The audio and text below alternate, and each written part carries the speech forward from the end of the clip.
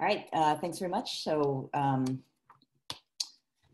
uh, I'm uh, very grateful for the to the organizers for um, organizing tutorial day. Sorry, I'm just realized there's a slide bar on. I'm trying to turn it off. Um, great.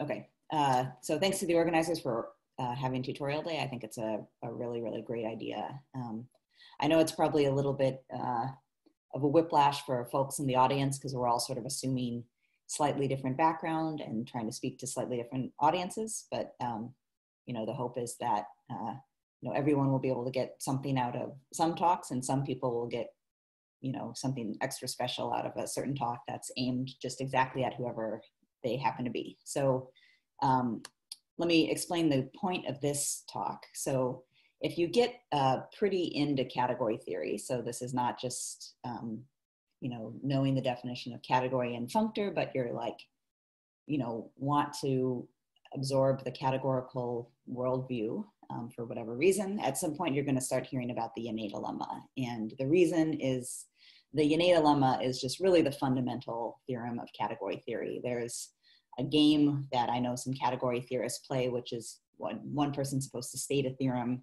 and the other person is supposed to figure out how to prove the theorem using the Yoneda lemma. And it's uh, sort of surprising how often that works. It's just, it's everywhere, you know, then of course it's hidden in other areas of math as well that secretly have some category theory behind the scenes. And um, it's just a really, it's like a magic tool. Um, so the problem with the Yoneda lemma though is it's very, very, very hard to understand the first time you see it. It's one of those things that you have to get used to it and then once you get used to it, you can sort of understand it. And then years after you thought you've understood it, then you like all of a sudden really understand it. So it's a, you know, it's sort of a long, slow process. Um, and it's not something that you can expect to learn in a single day. So, you know, the first time you see the Yoneda lemma, it'll be a bit of a mystery, but then you'll see it again and you'll see it again. And then eventually you'll get it if, if again, you're so inclined to try and understand the Yoneda lemma.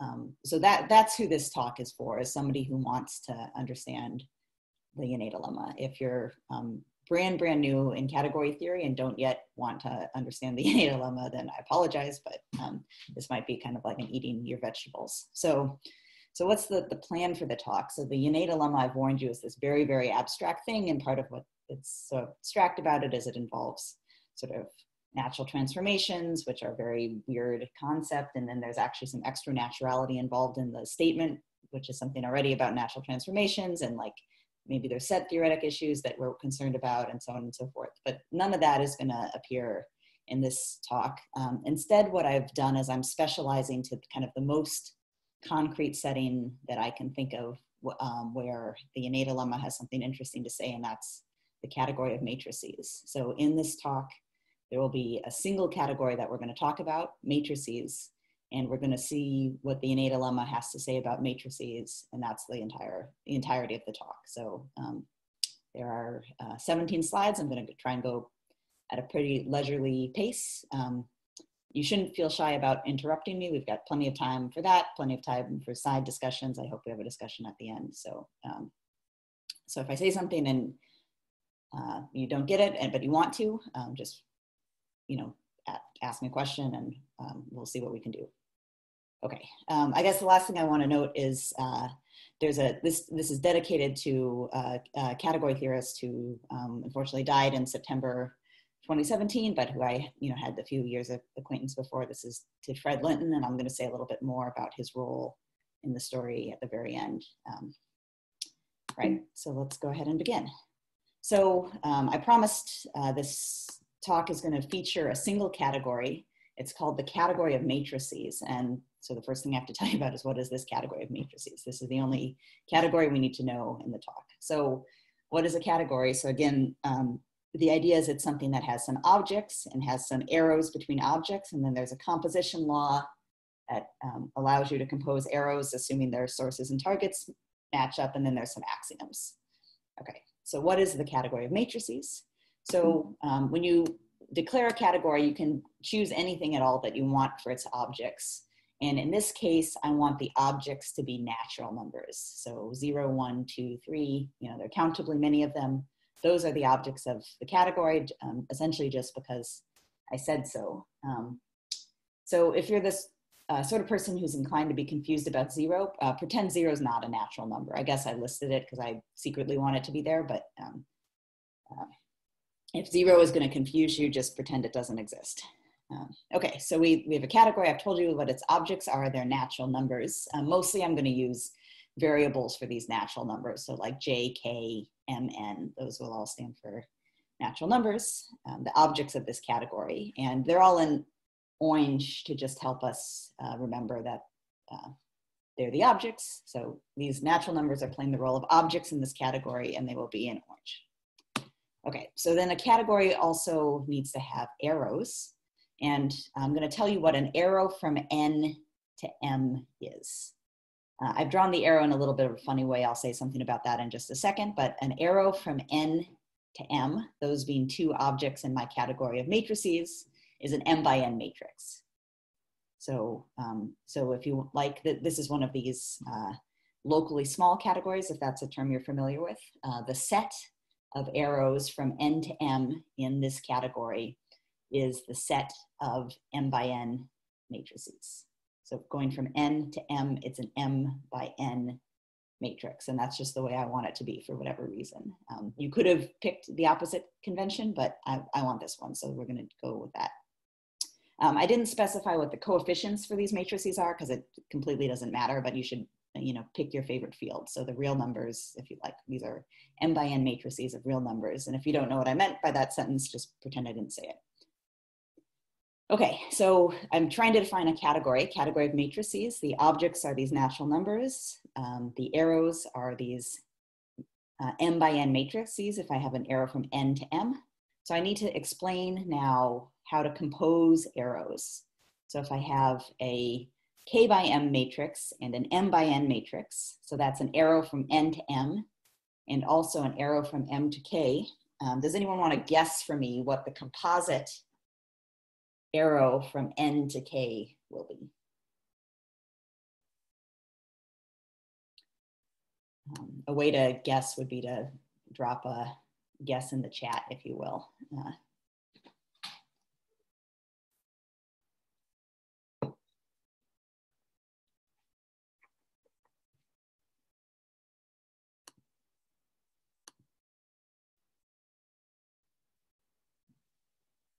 Right, so what I'm looking for here is, uh, so the composite of a n by m, and the composite of an arrow from n to m and an arrow from m to k will be an arrow from n to k. So, so a k by n matrix, absolutely, but it needs to be a specific one. So if my arrow from n to m is called A, it's the matrix A, and my arrow from m to k is uh, a matrix B, then I need a specific K by N matrix to be their composite. And it's defined by an operation that some of you have identified, matrix multiplication.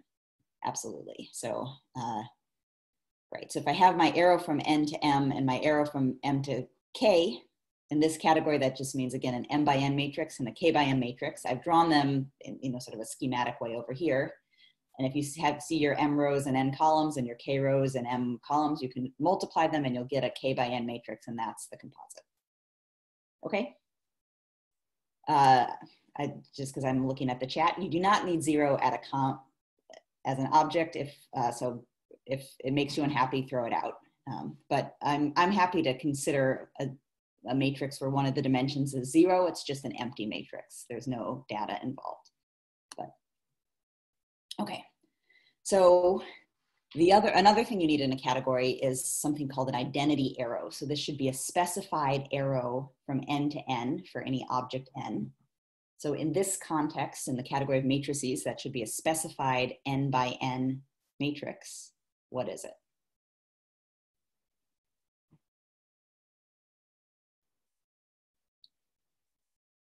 Right, so I'm looking for uh, special n by n matrix, something that I can define for any n. And uh, I mean, answering this question is easier if you remember the rest of the category axioms. So this matrix needs to serve as an identity for composition. So if I composed it with an arbitrary m by n matrix, I need to get that m by n matrix back. and absolutely, uh, it's something that's called the identity matrix. This is what it looks like with ones along the diagonals and zeros everywhere else. Absolutely. And what's special about this matrix, again, is if I multiply it by an m by n matrix A, I get A again, and that's the axiom of uh, identities. So we also need an associativity axiom. Matrix multiplication is an associative operation. Um, you might remember that matrix multiplication is not a commutative operation. I mean, often it doesn't even make sense to try and multiply matrices the other way around. Um, and this is exactly the behavior we expect in a category. You don't expect a commutative composition law in general. Okay, so that's the category of matrices. This is the only category we'll need for this talk, and maybe secretly sets, but okay, so far so good. So um, just as a quick recap, um, the main components of this category of matrices is the objects are natural numbers like k, m, and n, and an arrow from n to m is an m by n matrix. Oh, I forgot to explain uh, why I'm drawing my arrows pointing left. Um, so this is this is something I learned from one of my PhD students, Lo Clingman. Uh, you know, usually category theorists agonize over whether to write composition in sort of composition order or in diagrammatic order uh, if you're familiar with those two terms. And drawing your arrows pointing left allows you to have both. So, um, you know, the uh, there's this thing called composition order that means that I really want to write the composite of A with B as B times A as opposed to A times B. Um, but uh, so I, for, for secret reasons uh, of my own, I really want to write this composite as B times A. And it's just sort of less confusing if the arrows go to the left because then everything's kind of on the correct side. And it's going to make this m by n match up visually with an arrow from n to m pointing to the left. Um, but anyway, it's just a convention. So, okay. Uh, but no, this is not intended to be the opposite category. This is not, um, I mean, you could consider an opposite category of this, but even though I've drawn the arrow going from right to left, n is the domain of A and is the source of A, and m is the codomain. So the direction of the arrow still indicates what the source and what the target is. I'm just drawing it to the left.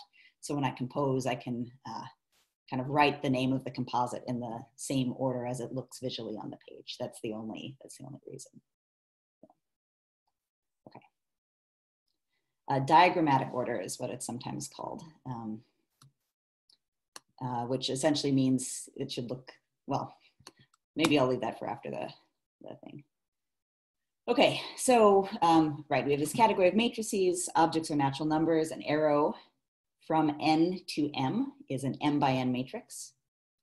Okay, and um, the next, so there, there are two key uh, players in this talk, and one of them is, uh, well, I guess an example of a functor, so I should, I should remind you what that is. So, um, so a functor, the data of a functor is given by a set uh, hn for each uh, natural number n.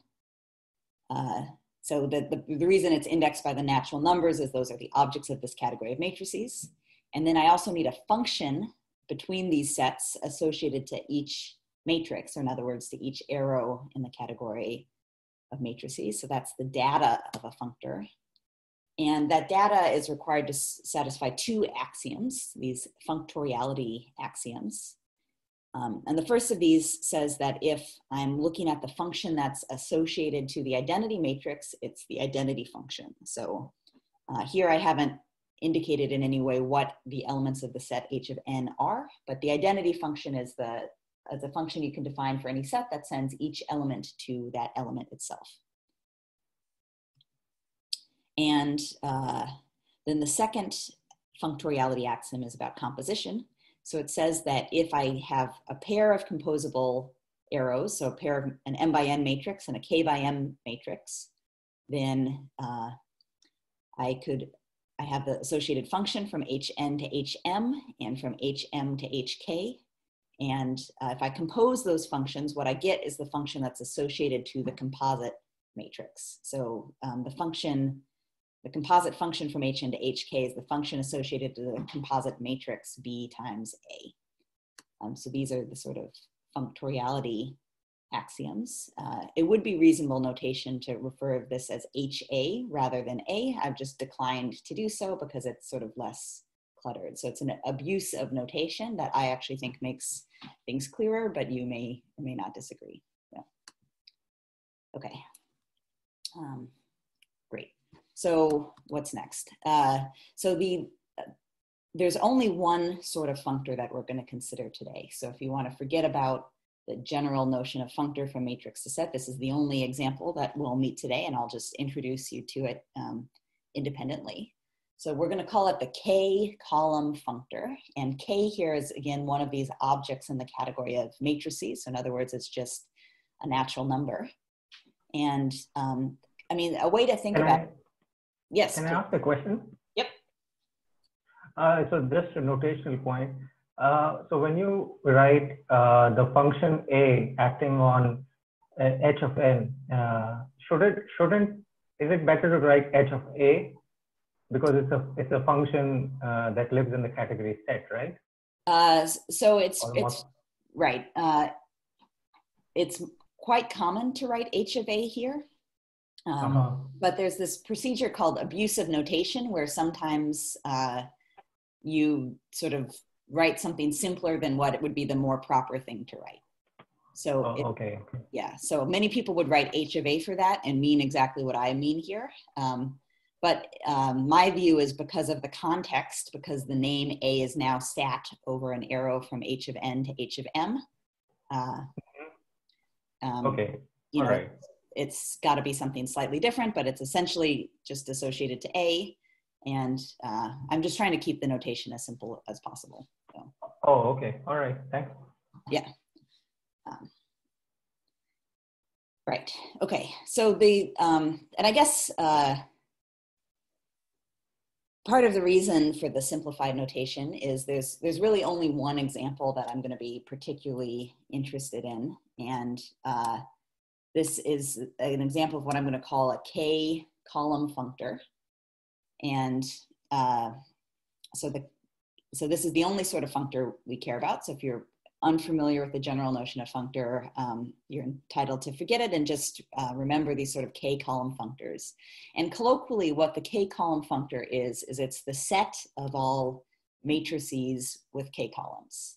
So that's, that's maybe even a, a more useful way to think about it. So the K column functor is the set of all matrices with K columns.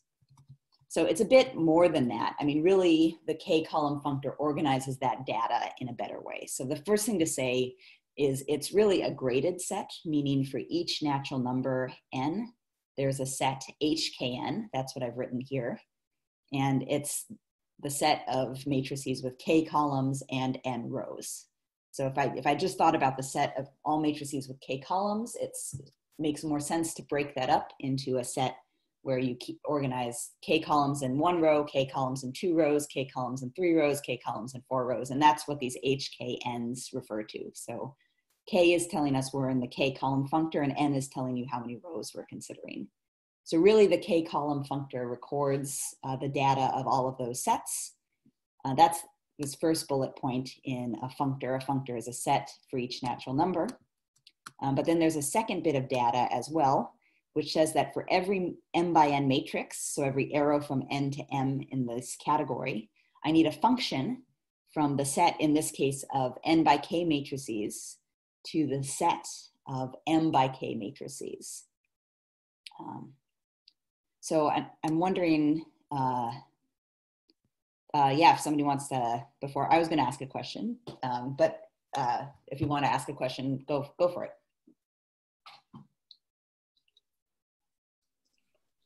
Sorry, I changed people's settings so they couldn't unmute themselves, but I'll change back. So now you can unmute yourself.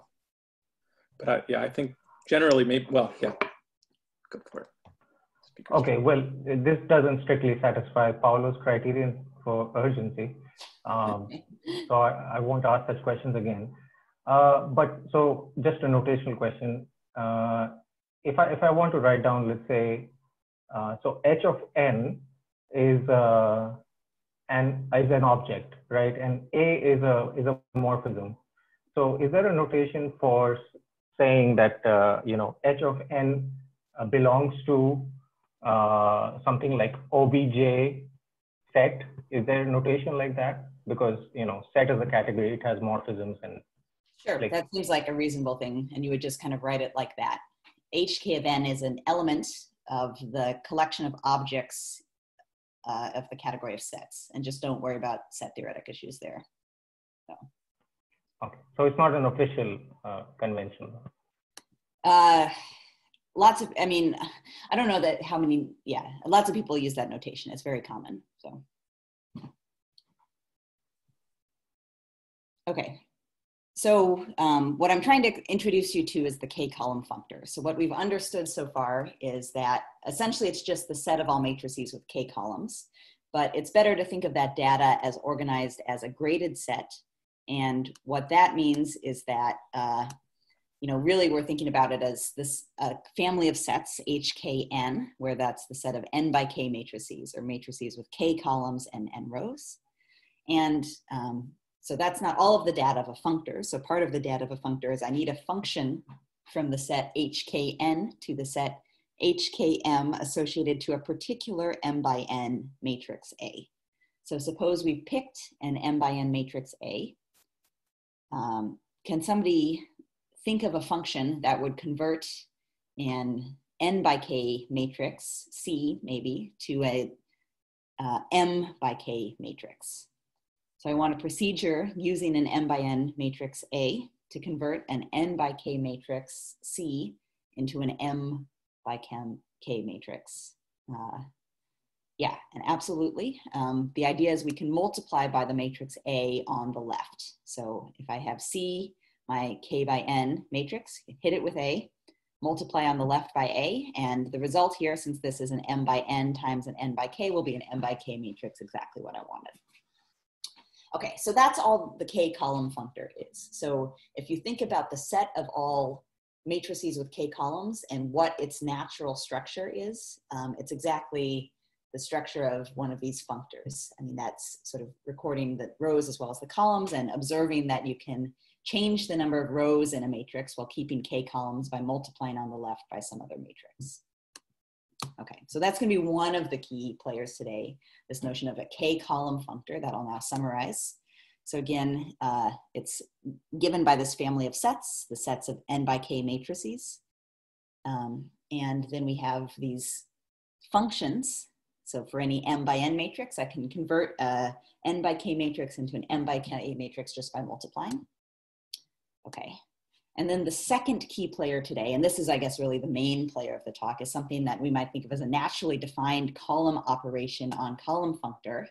And for the category, uh, sort of, sort of the category theoretic fluent uh, among us, uh, what I mean is just a natural transformation. So a natural transformation from the k column functor to the J column functor, where K and J are two natural numbers, in other words, two objects. They might be the same or they might be different. So a, a natural transformation, that's a thing in category theory.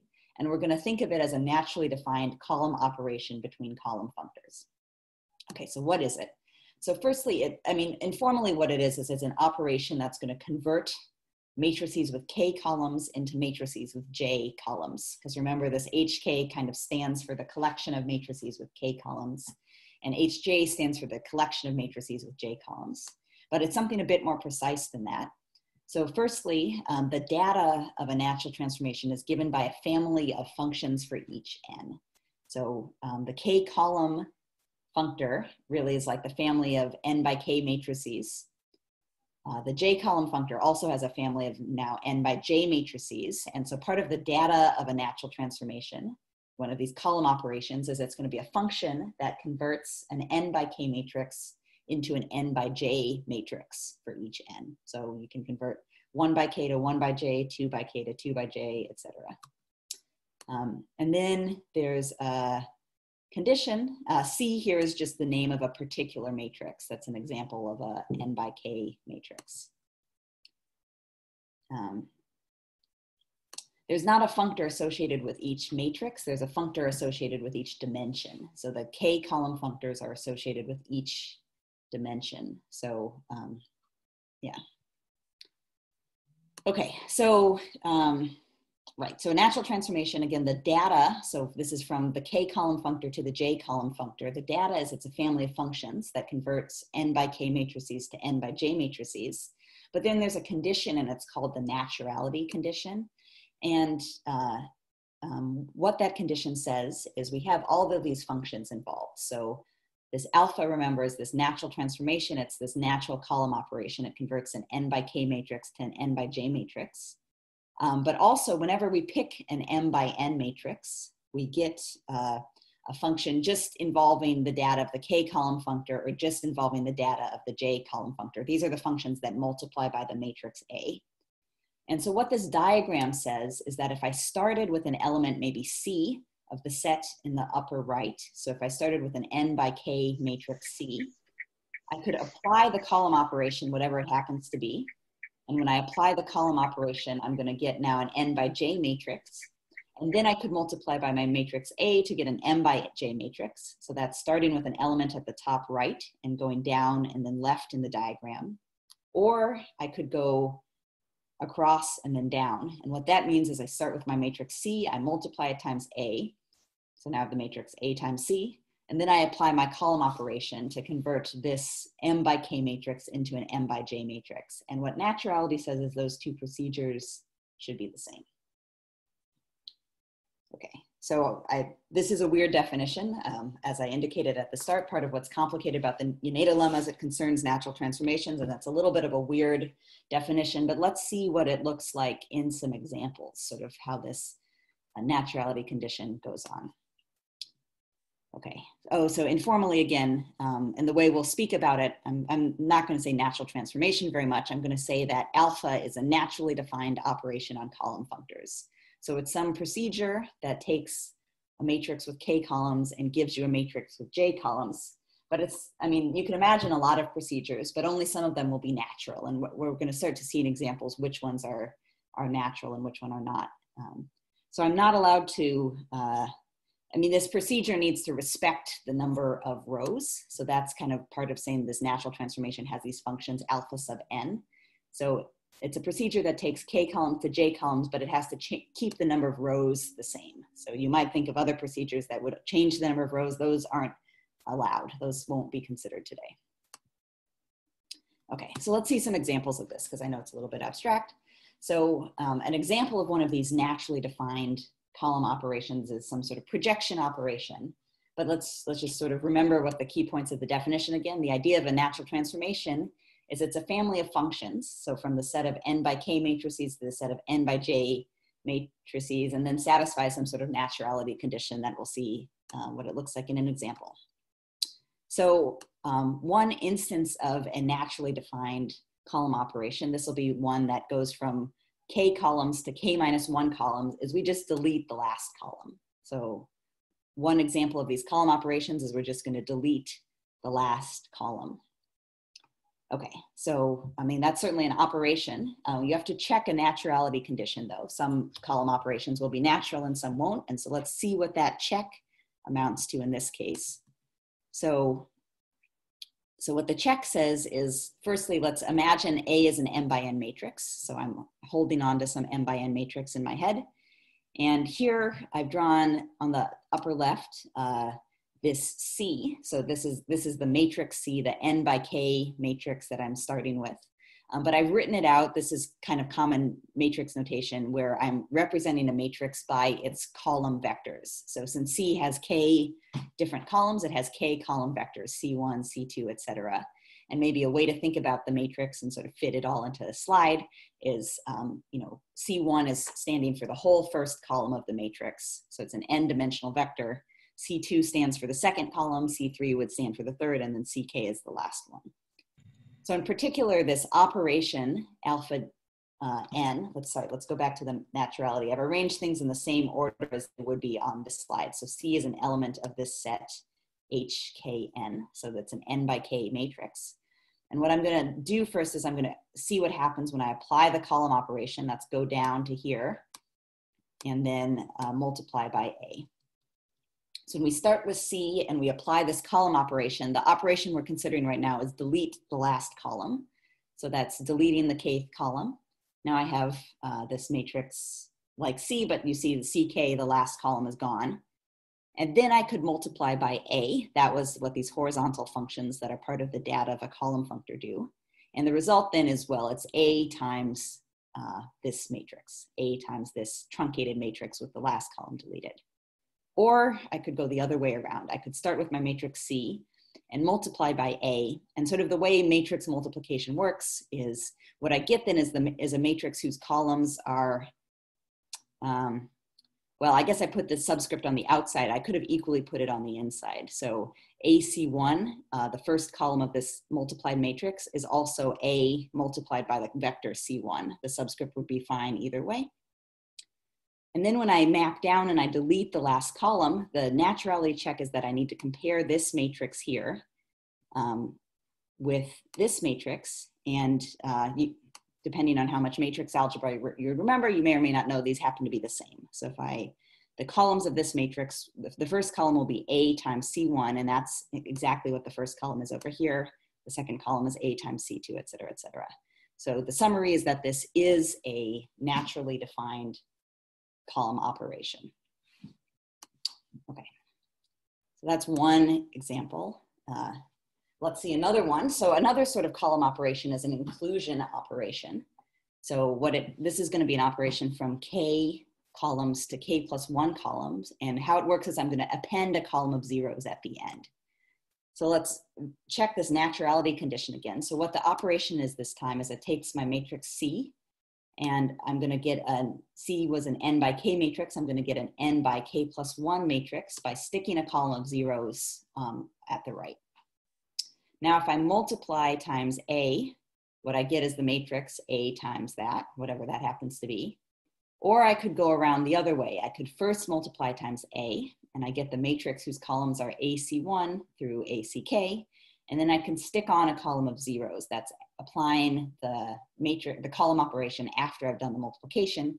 And again, you can check these results are the same, um, essentially because A times the zero vector is the zero vector. So um, these two these two expressions agree. So this is another example of a naturally defined column operation.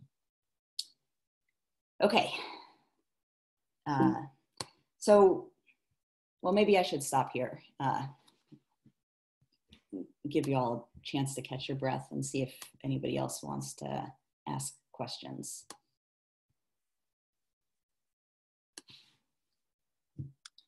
Uh, while I'm waiting, I might. Uh,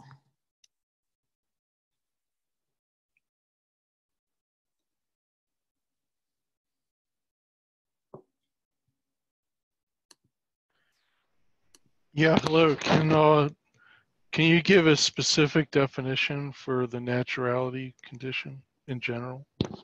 Um, so this, what is on this slide is the specific definition for the naturality uh, thing. Um, so it's a, it's a bit strange, um, but what it's saying is uh, for every matrix A, um, what these arrows represent in this little square at the bottom are functions. So this a is a function. This is the function which is multiply on the left by a. This alpha m is the function that is apply the column operation to m to convert an m by k matrix to an m by j matrix. And similarly, around the other side, this alpha n is apply the column operation to convert an n by k matrix to an n by j matrix. And this a is multiply by the matrix a.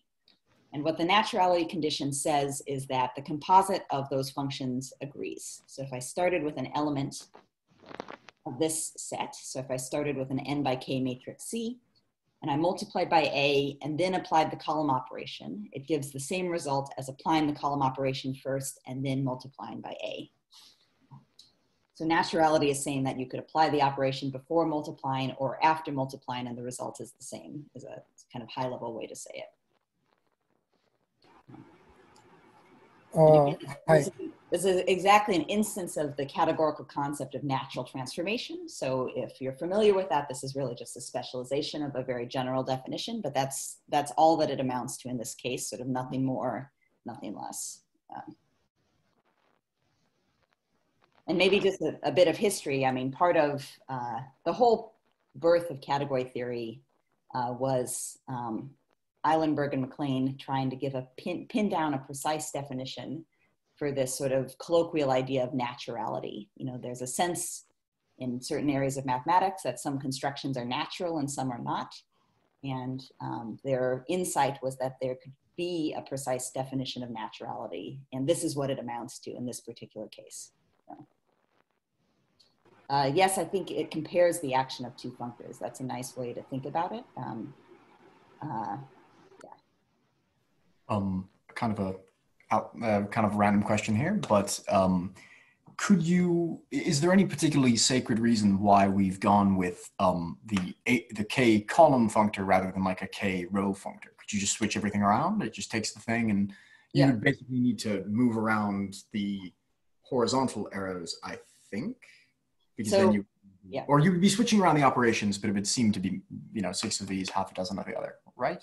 Right. So there's a dual universe somewhere uh, where somebody instead uh, defined row functors and gave the entire talk about row functors rather. All right, all right. So it would be okay. So absolutely, that's possible. I've just made this choice. So, All right. Yeah. Cheers. um,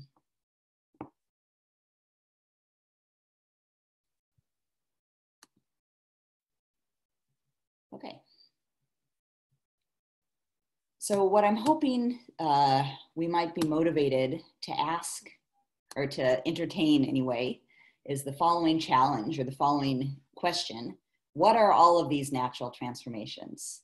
Uh, so um, what are all of the uh, natural transformations? Um, so, or in other words, um, can we classify all of these naturally defined column operations that transform matrices with K columns into matrices with J columns? So I've given you two examples of column operations. There are a whole lot more than the two that I gave you. Um, there are also a lot of things that aren't natural for one reason or another. Maybe they fiddle with the number of rows, or maybe they're nat- not natural for some more subtle reason. We'll see an example like that later. So, can we understand all possible column operations? So, all uh, operations that transform matrices with K columns to matrices with J columns. More precisely, these should transform N by K matrices into N by J matrices, plus do so naturally. Can we classify all of them? And this is exactly the question that the Yoneda lemma is going to answer. Okay.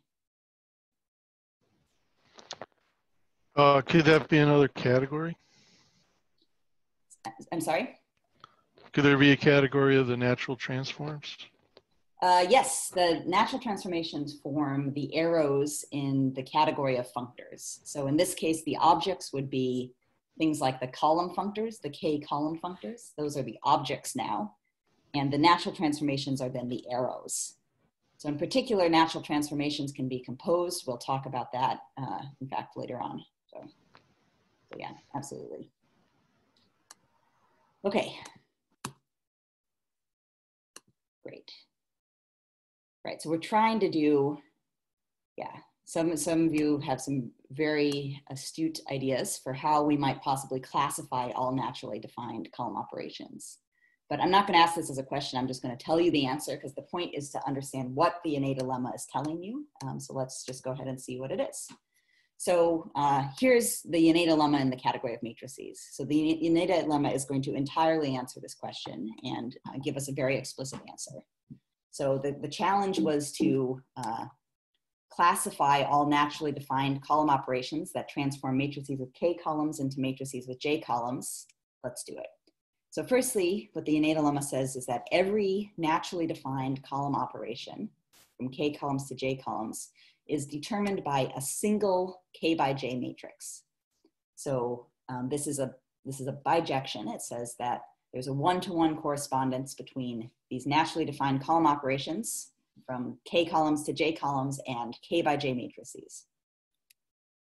Okay, that's all well and good. Uh, I mean, these are two uncountably infinite sets, but, but um, the point is you can figure out exactly what that matrix is. So uh, here is the K by J matrix. So it's, it's written in kind of uh, obscure notation, but this is the notation that you will see if you read anything about the Yoneda lemma ever. So I decided to go ahead and use its sort of full ugly notation because um, part of the point is to remember what this formula is. So, um, so it's going to be a K by J matrix. In other words, it's an arrow in the category of matrices from J to K. And how do you get that K by J matrix? Well, what I do is I take my column operation alpha. Um, I look at one component of it. So remember, a column operation is a family of functions, um, hkn to hjn for every n. But I'm going to look at the component at k, where the k is the same k that uh, is the domain index.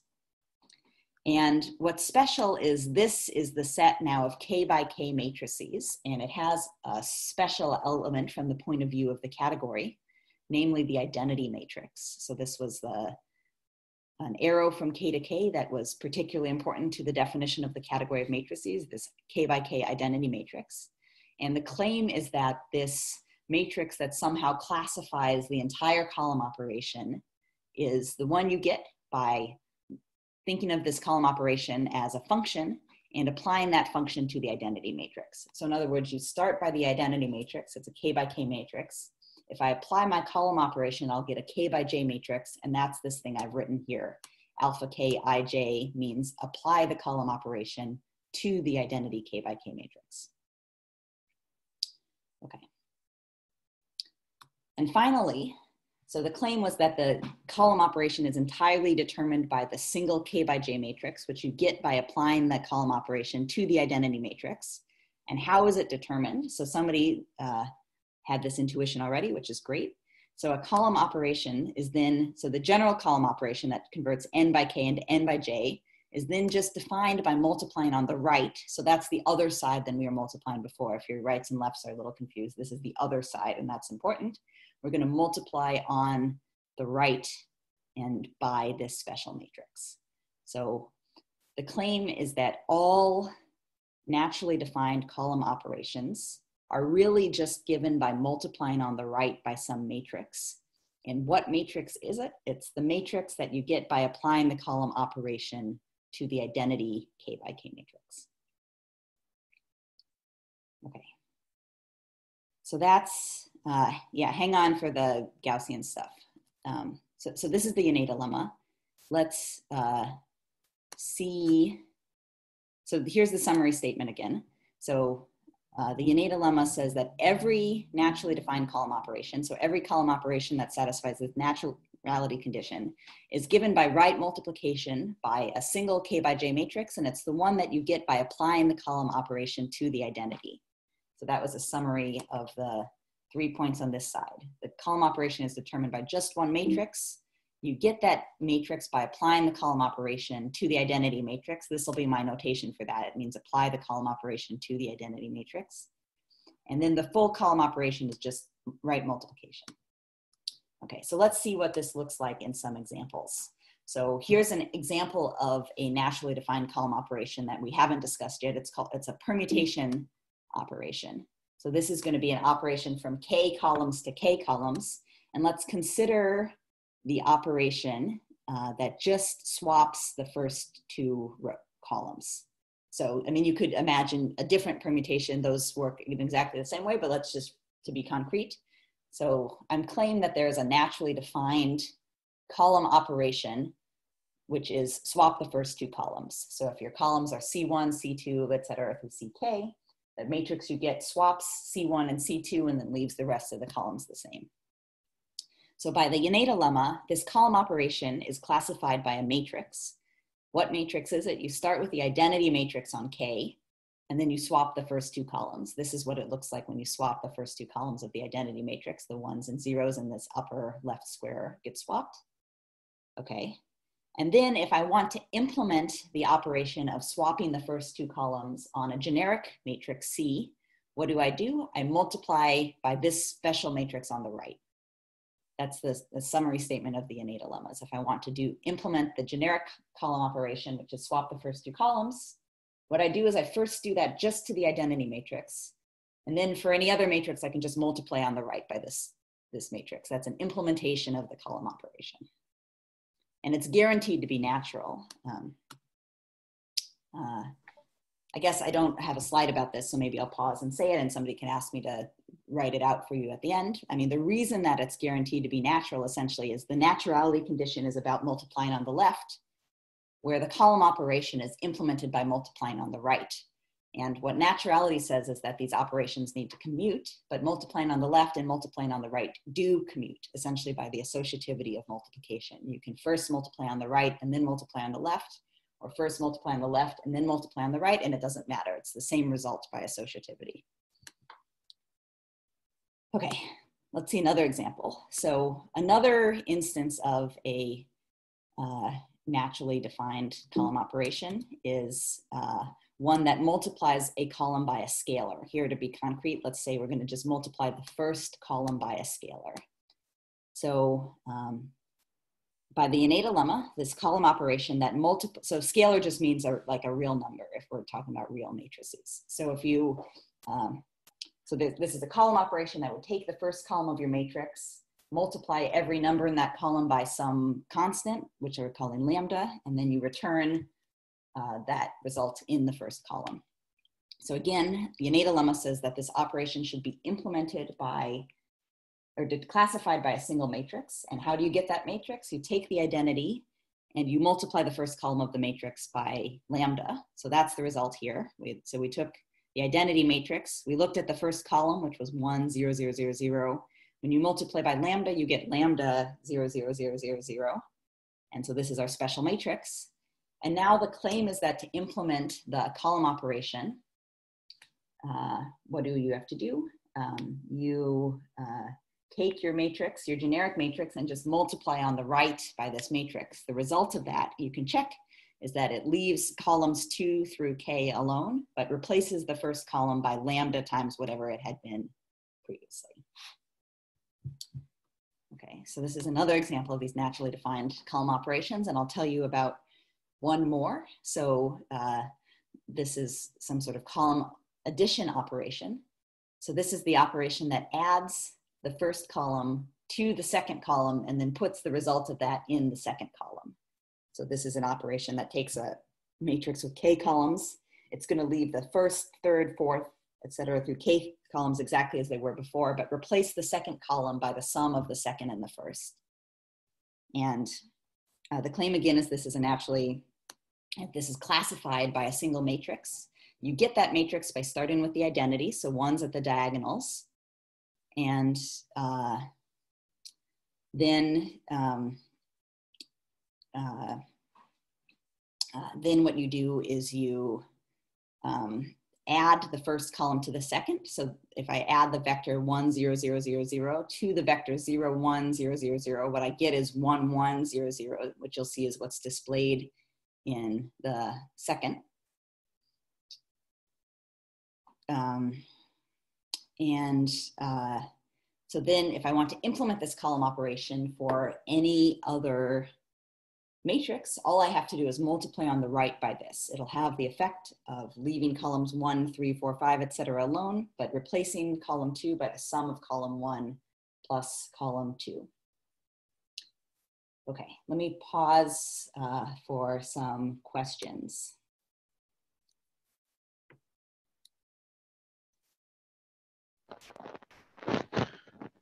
Um, so how about the general linear matrices of size k by k? Right, so each uh, k by k matrix determines a column. So um, this is gonna answer somebody else's question in the chat, so let me start back here. So a column operation, uh, so to specify a column operation, uh, first, you need to say how many columns. First, you specify the dimension of the start uh, and also spe specify the number of columns of the start. So K, say, and also specify the number of columns at the end. At the end. J. So like part of the typing of a column operation is you know how many columns you're supposed to start with and how many you're supposed to end with. So for instance, uh, for, so for the permutation operations, go uh, from k to k, and there are only interesting ones uh, when k is greater than one. If k is equal to one, there's no way to permute one thing. So there's, there's no interesting permutation operation. But um, each of these column operations is typed by saying how many columns you start with and how many you end with. Um, okay, so sorry that, so um, if you pick any element of the general of glnk, or sorry, glnr, glkr, you said k by k. So if I pick a k by k matrix, um, it will define by the Yoneda lemma. Um, let's go back. So by the Yoneda lemma, um, in fact, I don't think I said this as clearly as I could have done. Uh, so um, this first statement is really, it's a bijection. So every single, uh, every naturally defined, so that's a great question. Thanks for bringing this in my attention. Every naturally defined column operation is determined by a single K by J matrix. And conversely, any K by J matrix determines a naturally defined column operation. So this procedure, right multiplication by some matrix, is always going to give you a naturally defined column operation. So that's an example of a naturally defined column operation. And moreover, this is the only example in some sense. Every, well, in a precise sense given by the Yoneda lemma. So every, every matrix gives you a naturally defined column operation and column operations exactly are given by matrices. Other questions? Um, uh, sorry.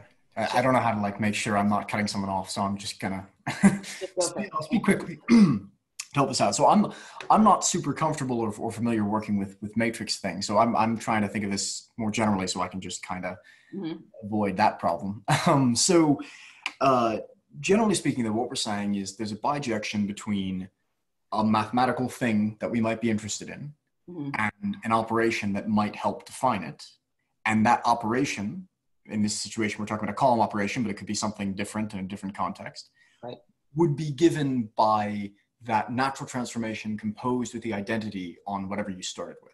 So we had yeah applied to the identity. Yeah, that's right. Identity, and then yeah, sorry, sorry, yeah. So so they're all together compositionally, and so I, I guess the the question I had, and this is probably because I don't understand the matrices as well as I'd like to, is that the the bijection here between that single K by J matrix or that single mathematical thing we're going to talk about in a different context is somehow very closely related to that natural transformation on the left hand side.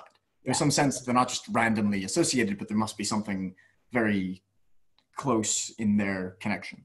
Um, I, am not going to ask you to come up with some random other example on the fly because I don't understand matrices, but but I think I'm roughly getting the shape of it. It feels like, at least. Right. So, so you're correct that all of this is much, much, much more general uh, than is indicated here. Um, but uh, for expository purposes, I'm only going to tell you about this in this very one special case. And apologies if you don't like matrices. So. Not, not to worry. I, not, not, not your fault. Definitely something I can brush up on. Yeah, cool. Okay. Other questions? Uh, um, Sorry, uh, just for some context. Who, who t- shall I go? Yeah, go for it. Yeah, sure. You're new, so go for it. Yeah. Thank you very much. Um, I'm loving this so far. I have a question about um, how we apply Yoneda. Basically, I'm used to seeing Yoneda lemma as given some functor defined on a locally um, locally small category. Mm-hmm um, the natural transformations from the representable functor given some object mm-hmm. to this given functor.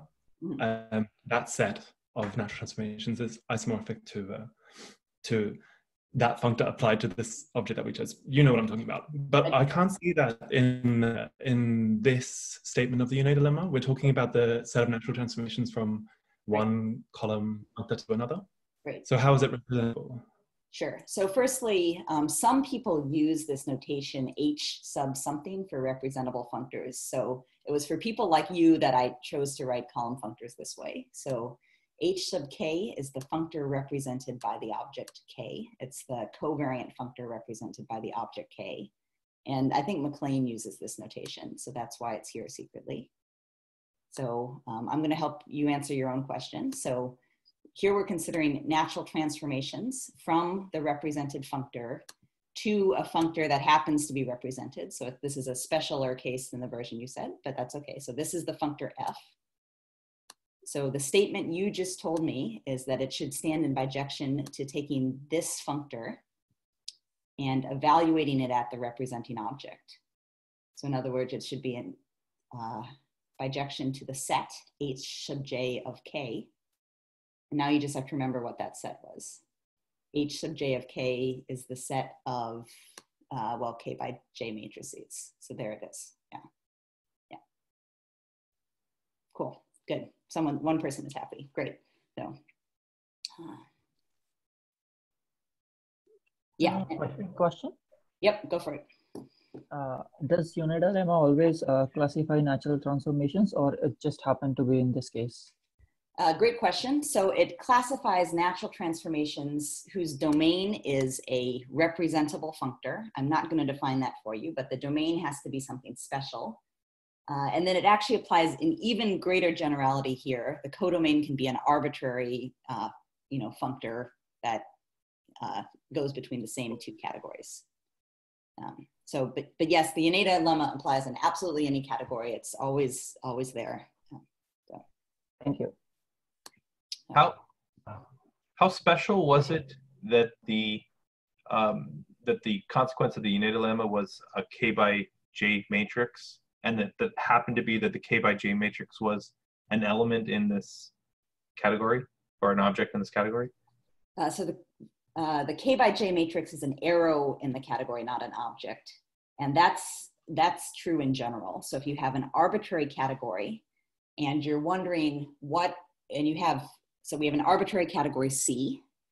I'm gonna pick two objects of that category. I'm gonna call them K and J just so we can look at this slide, but they can represent whatever. So we have an arbitrary category. We have a pair of objects of that category, K and J. So it will always be the case that natural transformations from the covariant functor represented by K to the covariant functor represented by J stand in bijection uh, with the set of morphisms in the category from J to K. So that's what's true in general. And in this matrix context, the morphisms um, are just K by J matrices. Okay, thank you. Yeah. I have a question. Okay. uh, so uh, I I read I, I think uh, maybe in one of the blog posts by uh, uh, Ty Ty Bradley uh, that the Yoneda lemma is basically the notion that if you want to understand something, some of some system, mm-hmm. you have to understand how it is associated or viewed from the perspective of all the other systems. Yes right? I mean, that's I think what she said. Yep. So, so from that from that point of view, uh, like how how is that manifest in this ex- example? Great. So that's that's a very useful perspective on the Yoneda lemma, um, it, and it is not at all the perspective that uh, is in play here. Um, so there's a, a, reason for that, essentially, which is that the category of matrices is skeletal, um, and that uh, sort of none of the objects are, um, e each object is distinct. You know, no objects are isomorphic if they aren't literally equal. Um, so that perspective is really not so useful in the category of matrices for that reason.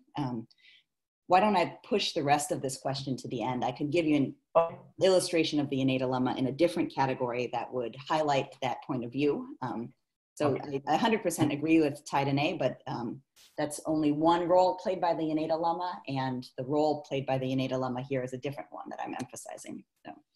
Oh, thanks. Could I ask a question real quick? Yes. Thank you.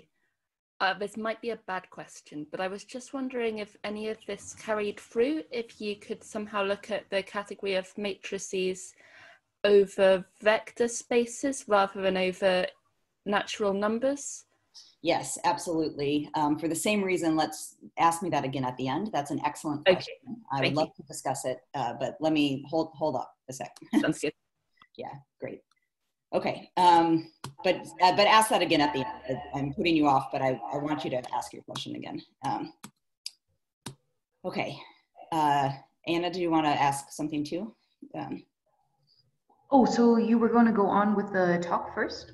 Well, if you ask your question and then I may or may not answer it. so, uh, sure. I was going to ask whether you could put this a bit in the context of representation theory because it seems very much like how we learned linear algebra in our first undergrad year, like how to represent linear uh, transformations, and then also how exactly it's a generalization of Cayley's theorem. Mhm. and, you know, with permutation groups and so on. Yep. Uh, yes, save it for the end. so, uh, yeah, I mean, you're right. There, there are very interesting things to say there, um, but let me not say that right now. Um, Great, cool, thanks.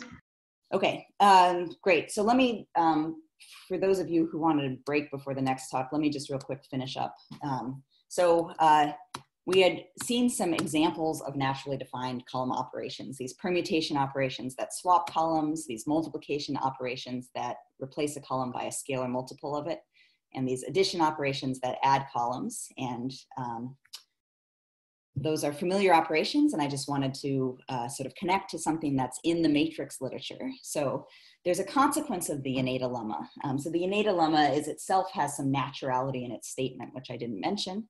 Um, but the consequence is this, that you can ask whether a naturally defined column operation is, is invertible, meaning if you start with k columns, you start with a matrix with k columns, you do some operation and you get another matrix with k columns, can you somehow invert that operation and get back to the matrix that you started? That's what I mean by invertible. And it turns out the answer is yes. Uh, the, the operation is invertible if and only if the matrix that represents it is invertible in the sense of a for matrix multiplication. So it has a it would be a k by k matrix that has another k by k matrix inverse so that if you multiply them together in either order, you get the identity. So this is a consequence of the Yoneda lemma. In this case, tells us that my matrix operation, my column operation is invertible if and only if it's representing matrix is invertible. And so in particular, your column operations can, can never be invertible, uh, I guess in the two-sided sense, um, if, unless K and the, the dimension that you start with and the dimension that you end with are the same, because there are no invertible one by two matrices, for instance. Okay, so um, the elementary column operations that I just mentioned, swapping columns, multiplying a column by a scalar, or adding a scalar multiple of one column to another column, these are all invertible since the corresponding elementary matrices are invertible. So you could check um, the three matrices that I displayed here are all invertible matrices. If you remember how to compute inverses, you could sort of work out what their inverses are. And so therefore those operations are all invertible. That's one thing that the Yoneda lemma tells you. And another thing that the Yoneda lemma tells you is how you could compose these column operations. So we mentioned that natural transformations are the morphisms in some category, and as such, they can always be composed. Um, but we've seen that these natural transformations, these column operations, are classified by matrices, these representing matrices. And you can ask, what is the matrix that classifies the composite of two column operations? First do alpha, then do beta. Um, well, that classifying matrix is just given by right multiplication. Uh, sorry, it's just given by the product of the representing matrices. So the, the composite column operation is then right multiplication by that matrix, which is the product. So here, um, this alpha k ik is the matrix that classifies the first column operation. This beta j ij is the matrix that classifies the second.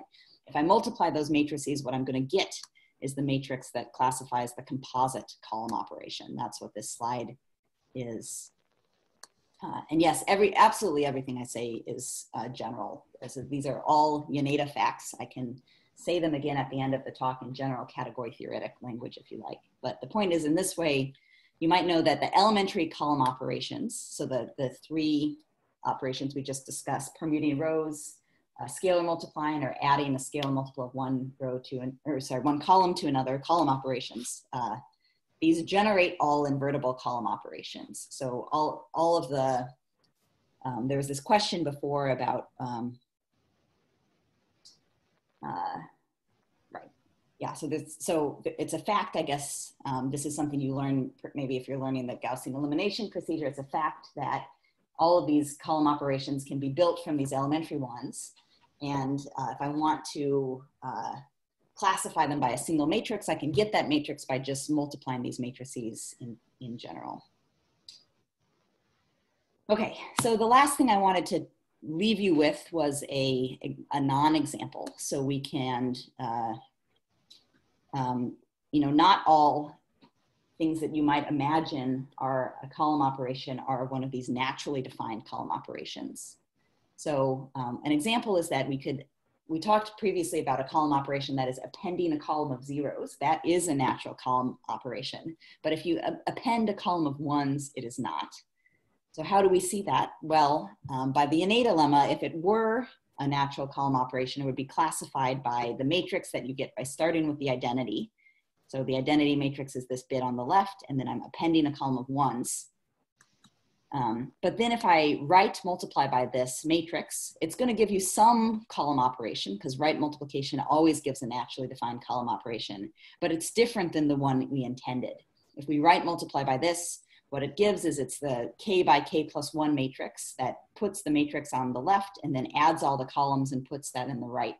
And that's different from just putting ones on the right, which was our intention. So this is an example of a column operation that violates the naturality condition that we discussed previously.